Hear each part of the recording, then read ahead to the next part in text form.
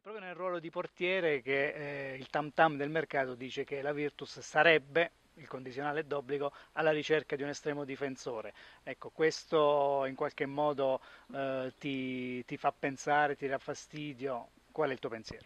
No, no, il mio pensiero è quello decide la società quale, se deve prendere un portiere, se deve arrivare qualcuno. Il mio pensiero è solo al ritiro, quello di lavorare, quello di lavorare come ho sempre fatto e poi chi arriva arriva e poi durante il campionato sarà il mister a decidere e poi se ci sarà la possibilità di, di entrare in campo, dare il massimo e basta.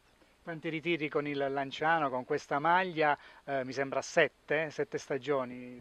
Siamo arrivati all'ottavo. All'ottavo addirittura. E quindi eh, puoi ben dire, anche dalle primissime impressioni, che tipo di Virtus sta nascendo?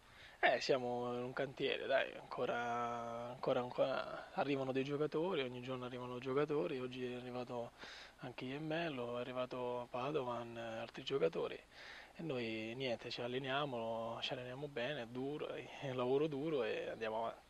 Domanda scontata, l'obiettivo del Lanciano è quello di rimanere in Serie B, il tuo personale è quello di giocare sicuramente? No?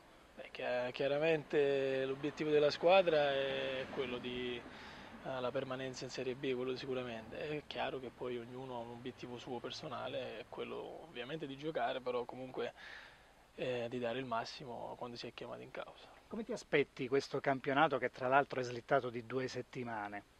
È un campionato difficile, sappiamo che ci sono squadre molto attrezzate come Cagliari, eh, Cesena, Salernitana, comunque sono squadre di blasoni molto molto molto molto forti. È chiaro che queste due settimane incidono un pochino sulla, sull'andatura delle squadre, però staremo a vedere.